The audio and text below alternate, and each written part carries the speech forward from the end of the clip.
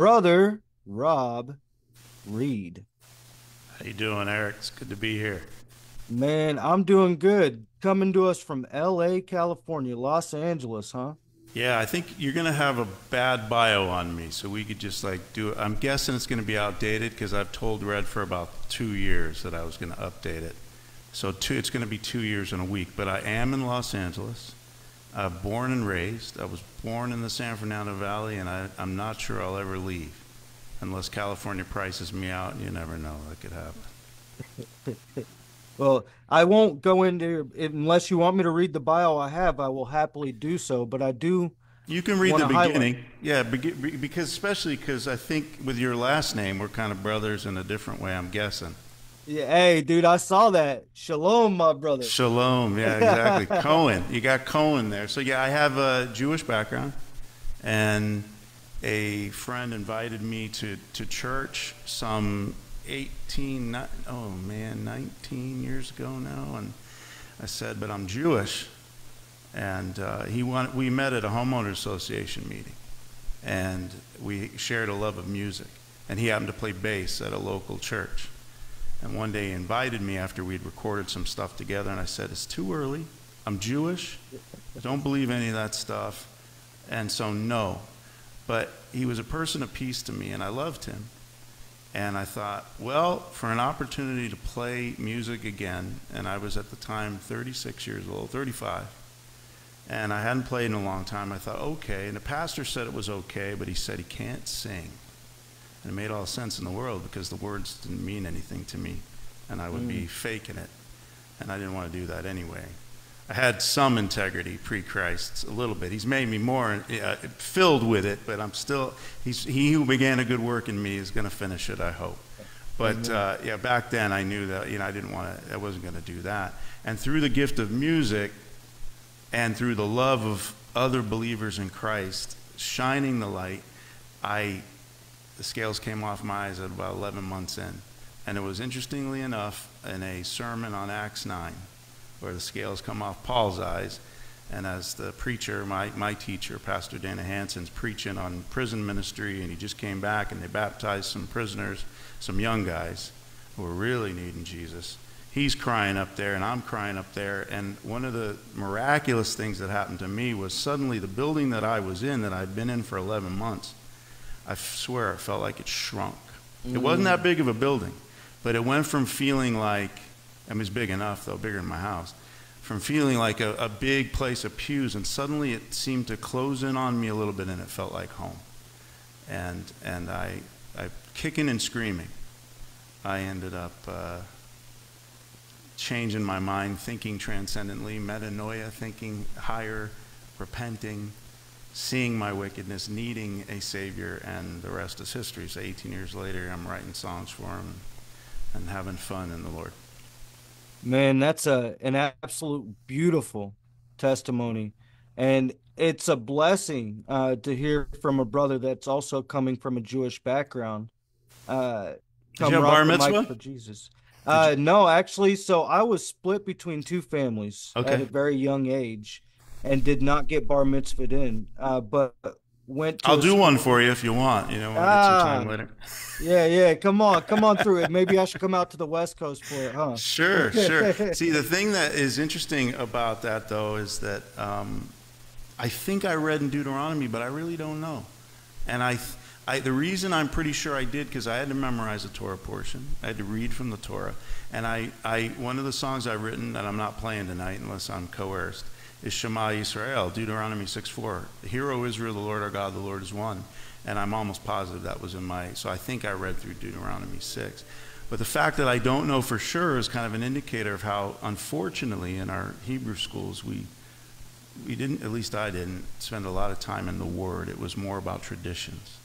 What about you? Was it traditions with? Uh, it was splitting families, though. It was probably mixing up. You didn't know where you were and which way was up.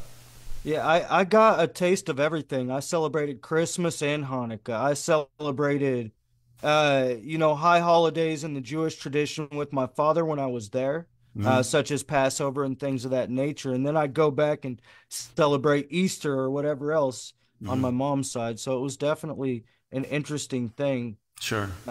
on my end. Well, But we'll yeah, talk, man. We'll talk more about that soon, I guess. Maybe I'll host one day and then you'll be an artist. That's right. That's right. and so I would love it before we go into song number one. Give a shout out to home church if you have one. Sure. My church is Calvary Chapel, Malibu, and I'm the. That's what's needed to be updated. I'm the worship leader there with my wife, and uh, that's just where God has led us right now. And really happy with Pastor Brian there. My my teacher, my first pastor that I already talked about, he retired, and after he retired. The, the new mission of the church that I was at sort of went, you know, a little younger, and I get it. I'm an older guy, uh, and but Calvary Chapel had a need in Malibu, and and God uh, showed me the way. So we're enjoying our time there. Amen. And and what you got cooking in the number one spot, brother? I think uh, th- this is a song that kind of has new meaning for me because of uh, I did a Bible in a year reading um, last year. I did it online, and one of the biggest uh, days that I had was I think it was a couple days maybe was reading through Ezekiel 47, and I didn't know about Ezekiel 47 when I first wrote this. This song's called "Flood of Grace." Read it and read about the the flood of grace, that the living water that comes out of the perfect temple. And as Jesus says, He's the temple, and you tear it down, and He'll raise it up again in three days. And that's exactly what He did. This is a song for the Holy Spirit. And we ask you, Holy Spirit, that you, you come into this place and, and fill us and edify us and, and help us to uh, just bask in the warmth of your love. In Jesus' name.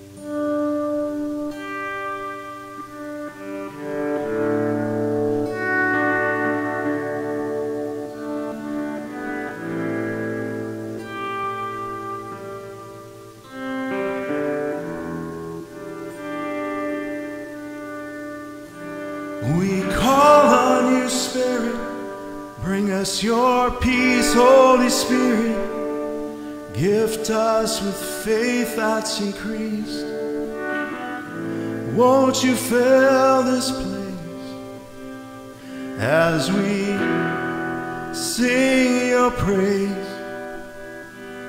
And give us your vision, pour down your truth, so we dream and we flourish with eyes set on you. Won't you fill this place with your flood of grace, flood of grace,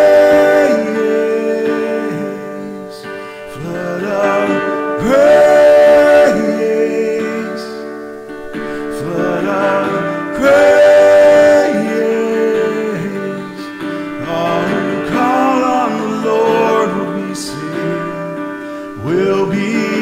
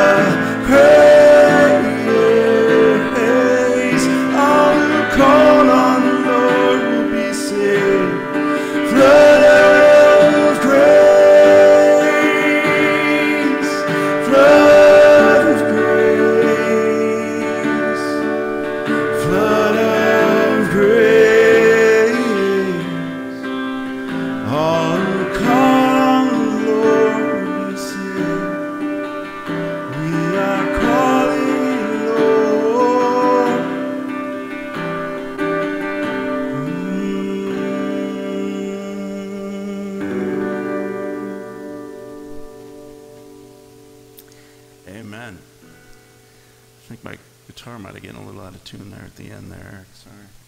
Wow, bro. And so I'm not on social media to read the comments, but I am uh, reading some of the comments in the chat. And uh, Rob's voice is so awesome, Jose Baraja says. And Crystal Craven, eh, nah, bro, hey, that was awesome. Crystal Craven says, dude, love the vocal layering magic.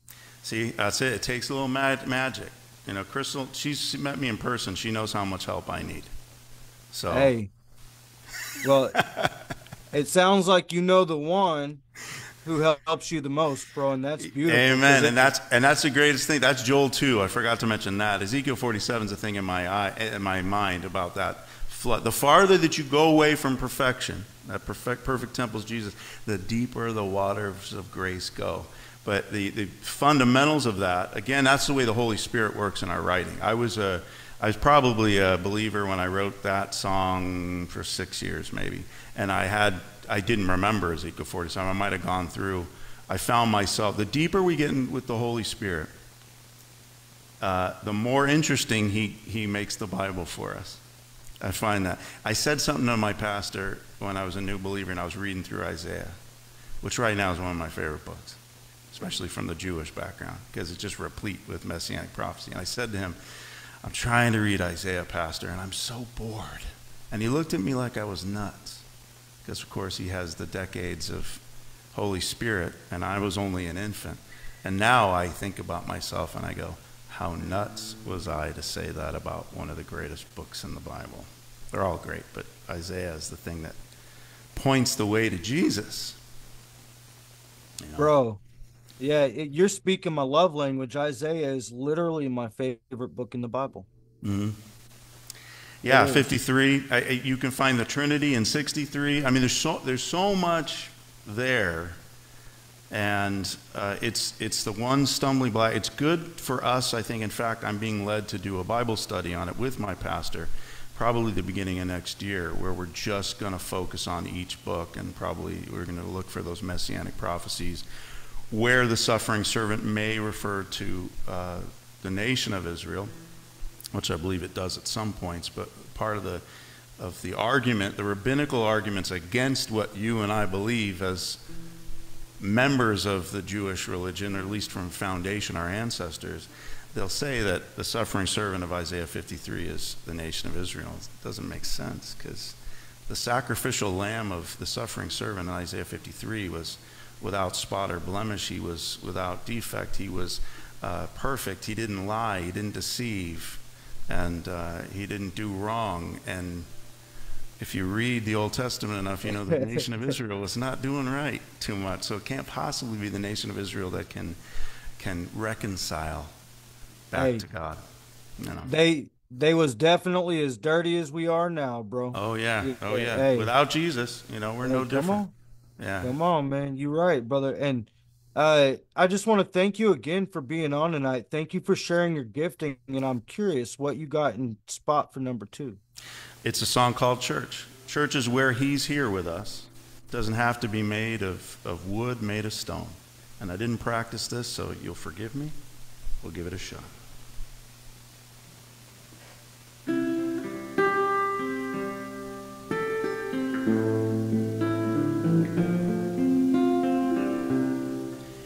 I have seen a million places built to withstand the test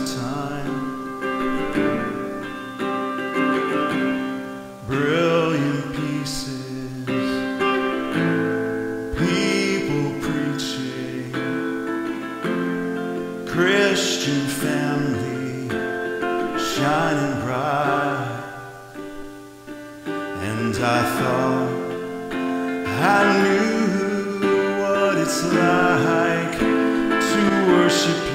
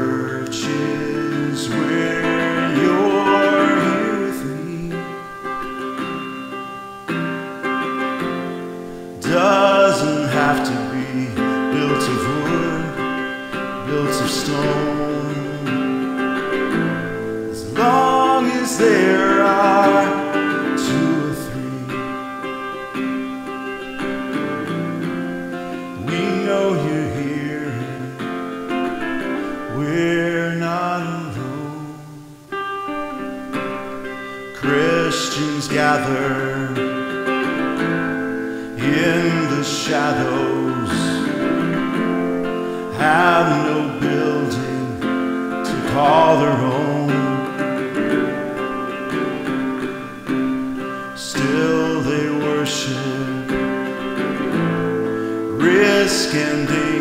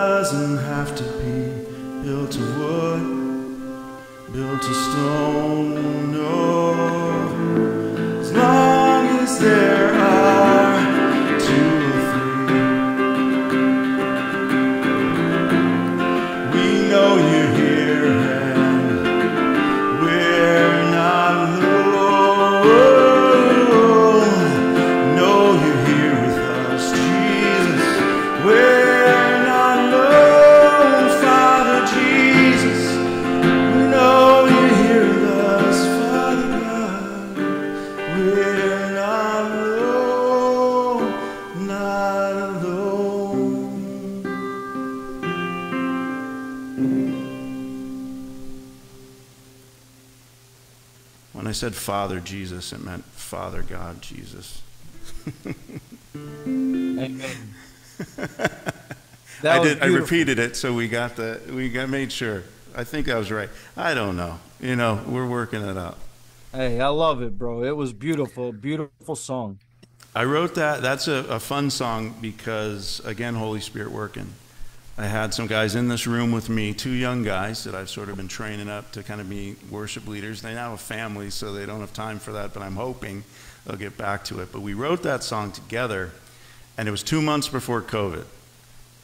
And we didn't know that was going to happen, and so it became kind of our anthem for the church of uh, it doesn't matter I mean, it's we have to be in the building. We have to fellowship. We have to have in-person fellowship. This is great, but it doesn't compare to being in person. To be able to touch and hug and brother and sister. To be able to uh, to have people who have your back when you mess up, and to be there to to be able to talk to and and learn from. But it was a good reminder. This song that it's not the church is the body. It's the people. It's not the the buildings and the ornate stuff and all that good stuff. So Yeah, you know. Amen, bro. And and I wanted to that's one of the truths of your song that I wanted to point out and mention was that you said that the church doesn't have to be made of wood or stone. And the truth of the matter is that we're the only church that some people may ever meet. We're the only Right. Jesus that some people may ever see or know. Mhm. Uh so we are the church, bro.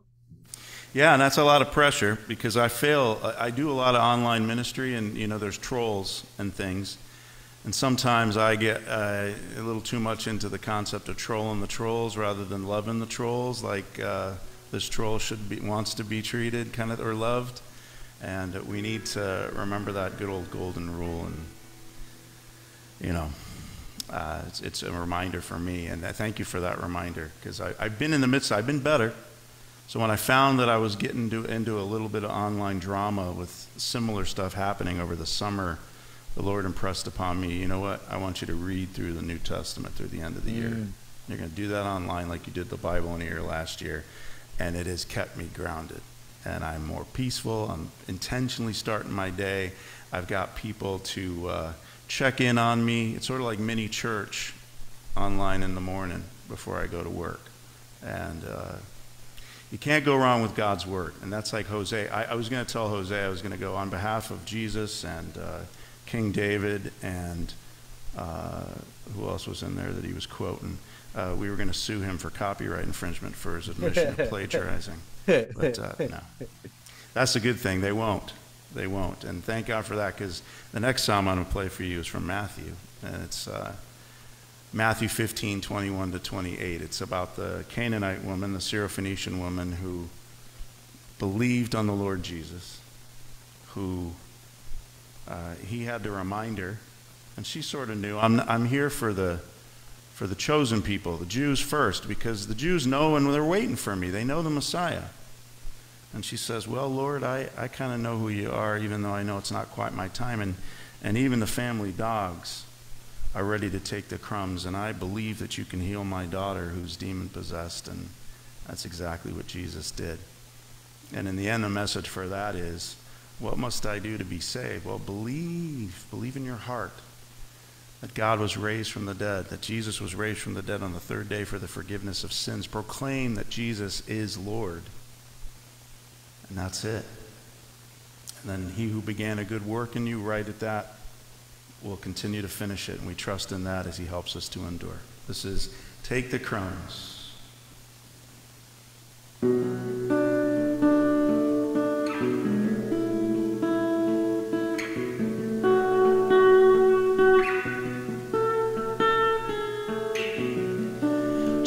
Jesus, your greatness is beyond my thoughts.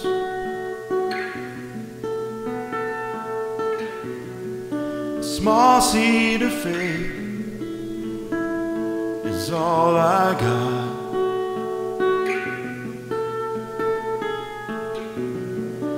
I am not worthy, not of the chosen ones.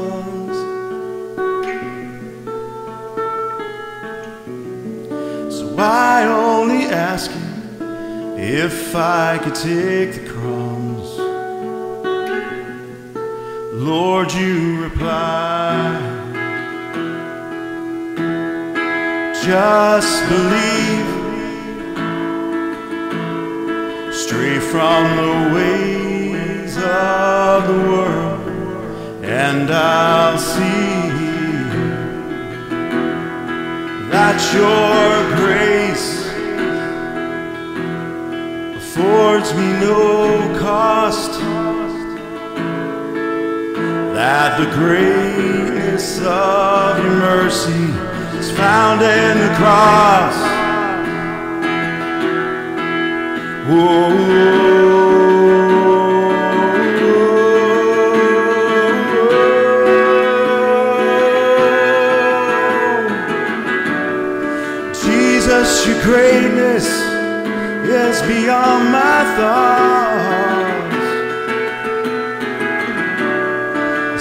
Seed of faith is all I got.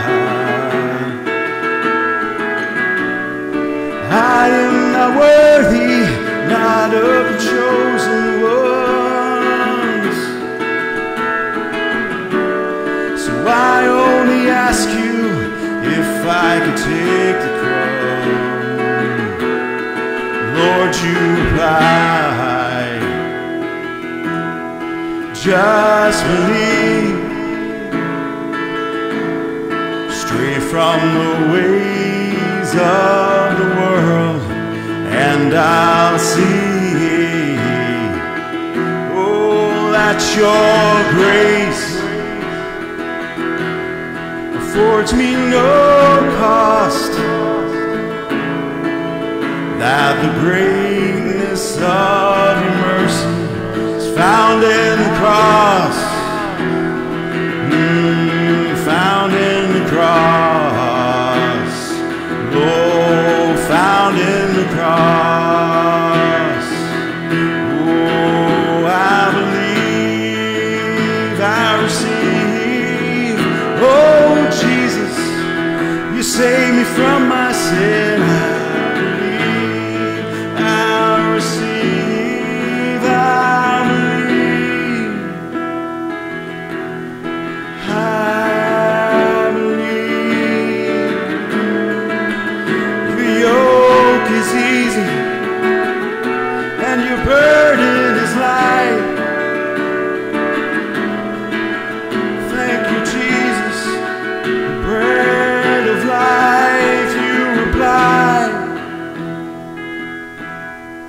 just believe.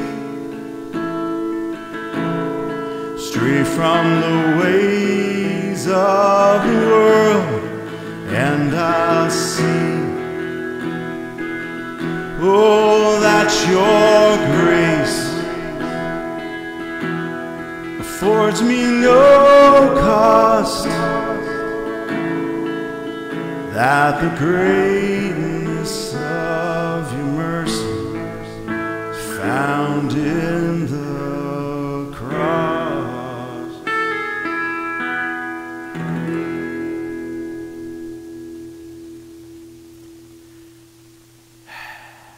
Yo, I that, like that that was an awesome song, bro. Yeah, I I absolutely love the sound that God has given you. That was uh he gave me he, he blessed me with a this is to show you how to play it with a with a, a cut capo. This is like a drop E capo. It automatically puts you in like a drop D scenario but in the key of E. So it's drop E. And I the first time I got it, I just picked it up and I put it on. I, at first I put it on random place. I go, it's not really sounding any good. So I put it on the second one and I just started going uh, just came right away and I go, oh, that sounds like a song. All right, Lord, what are we doing? And I happened to be reading through Matthew 15 and it just kind of was perfect. So thank you, God, for that song. I can say you had me rocking out the whole time, bro. In the name of Jesus. Awesome, awesome. That's a fun song. I, it also stretched me in terms of uh, uh, production. Mm. So that that's uh, you can get that song. I'm I think I like that song of all the songs I've ever done. That's production wise and everything. Of everything that reflects me and who I am and my soul, it's it's actually in that that song. Uh, like I listen to that and I go, and there's some little nuances and stuff and go, thank you God. I don't know how that happened, but I know that I was just along for the ride on that one, and um, it was a blessing to be able to write it. But it Amen. starts it starts with as Jose said, stuff to plagiarize, and you can't do any better than the Bible Come on. because I'll get Amen. sued otherwise. you know? Hey, hey, and and that word is meant to go ahead and spread forth, ain't it? That's right. That's right. So, uh, tell us where can we find more out about your ministry and your music? How can we find you? Well, you see, you can see uh, the Calvary Chapel Malibu is online. You can find it on YouTube. I'm at robreed.com. I don't really update it that much. I, I need to. Um, but I'm on Spotify and Apple Music and all your favorite streaming platforms and the YouTube channel, youtube.com slash Rob Reed ESQ or Rob Reed Music. And if you go to robreed.com, you can find it. And I'd love for people to join every morning. It's it kind of varies. I try to do it between 8:30 a.m. Pacific and uh, nine o'clock or so, depending on if I have uh, court appearance or something. But uh, I, uh, it's uh, been my grounding, and I'm reading through the New Testament through the end of the year. So please join me. And I'm also looking for artists if you want to do some videos, because I do music on there too to intersperse in between. So if you do a video and you send it to me, I might put it on there as like an interlude. Basically, I do a reading, and then we have a song, and then we we have a study. So Amen. fun. Yeah. Yeah, I absolutely love the vision and the idea. Uh, what do you got for us in spot three, bro? Uh, this is four, I think. Is this Oh. four? Yeah, this is four. I mean, I'll do, uh, but I don't. I, I have to be respectful. Bob's already got his guitar. He's like, Rob, will you shut up already? I can see. Yeah, no, hey, I'm kidding, Bob. I have one more. I'll do uh, the author of my story, and this is uh, also a blessing song. The pastor uh, of before he retired, a couple years, it was the hundredth anniversary of our church, and he there was a book. I don't think I have. Oh, I do. It's called the the Gospel Primer, right there. And he just says, you know, the songwriters will appreciate this. He goes, uh, "You could. Uh, we're going to do a chapter a week. I'm going to preach, and you can write a song a week." I'm like, uh, "Pastor, doesn't really work like that." But I tried, and I did, and some of the stuff was absolute garbage, and this was one, but a great joyful noise nonetheless. But this one uh, was one that I really liked, and it's got some traction and uh, with folks out there that are listening to it. And I'm getting emails saying that it edifies them. And essentially, the message of this is without the God who created all things, I am nothing. But now, with the God who created all things, I'm a child of the King. This is called Author of My Story.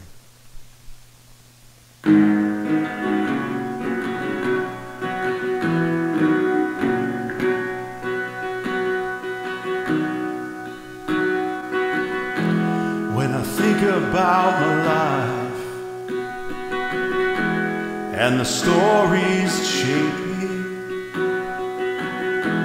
I'd taken all the credit and shifted all the blame without the God who created all things. I am nothing.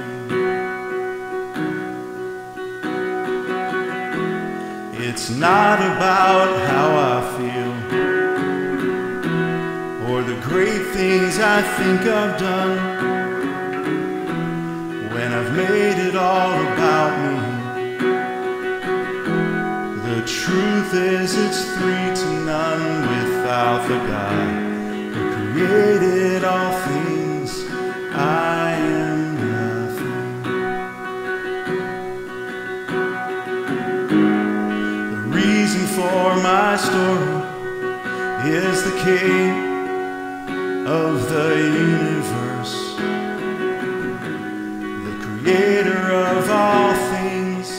When I tell my story, he must be first. The author of my story.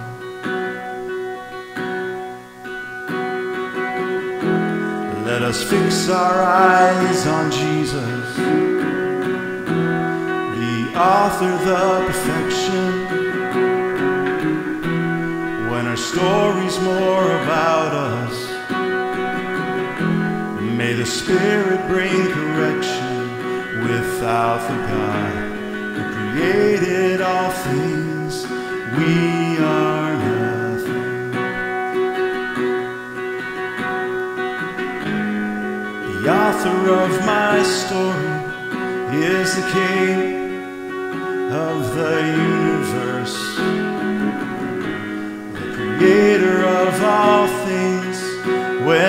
tell my story, he must be first. The author of my story, he holds the keys to the universe.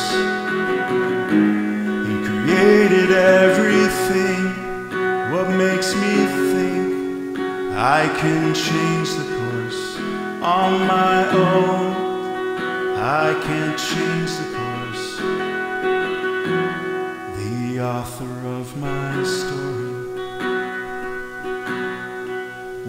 The God who created all things, I am nothing.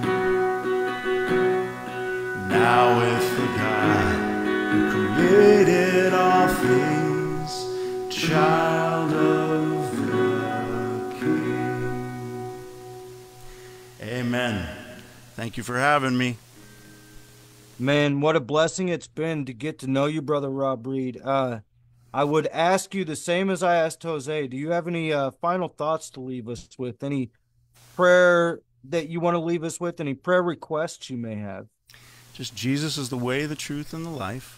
That's and there's no way to the Father through Him. And if there's anyone here that's struggling in faith or finances or uh, anything in this life and struggling and thinking that God isn't with you, then let's let's pray for a moment right now. I'm led to do that. That Father God, we know that you are Jehovah Jireh, that you are, mm. and I'm sure Crystal might be singing about that today, so it'll be interesting, Holy Spirit, what you've got in store there. That you are our provider, and we trust in you. Everything is yours anyway. And we thank you for the blessings that you've given us and allowed us to have to use for your glory, God. The guitars, the keys, the capos, the keyboards, the synthesizers, our vocal cords. Help us to not take those things for granted, God. Not take for granted the fact that we have internet access and there's millions right now that may not even have electricity, Lord. Give those who need comfort comfort. Remind them that they're they're blessed. That they're blessed. Those who are hurting, blessed are those. God, you you are with them every step of the way. Thank you for that hope and promise, Jesus. In Jesus' name we pray. Amen. Amen. Thank you, Eric. Amen. Hey, thank you, brother Rob, for joining us from My pleasure. From Los Los, Angeles. Hey, Yes. come the on, man, the messy man cave. hey, I was gonna ask you. I'll have to reach you offline because I think those are sports cards in your background. Uh, there are sports cards. These are actually bobbleheads. I have sports cards, man. I see the white boxes over there in the corner. It looks like. You, there are Those sports like- cards. You Yeah, collect? Okay. Oh, I do, boy. bro. I got I got boxes and boxes and boxes. So I'll have to talk to you, brother. Thank we you will for have good here tonight. conversations. All right. God bless you.